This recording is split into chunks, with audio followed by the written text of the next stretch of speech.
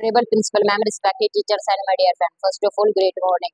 My name is Bharat. 8th grade, 9th grade. Today I am going to speak about value of time. Time is the most valuable thing in life. You know that our life just a bundle of a time uh, which I divided into year, months, week, days. It so every day is a big part of our life. It is very important how you use time uh, with happy life and productive life and what is this time pass. So uh, it is it never come back and it it running continuously money spent can can earn again but no time thank you have a nice day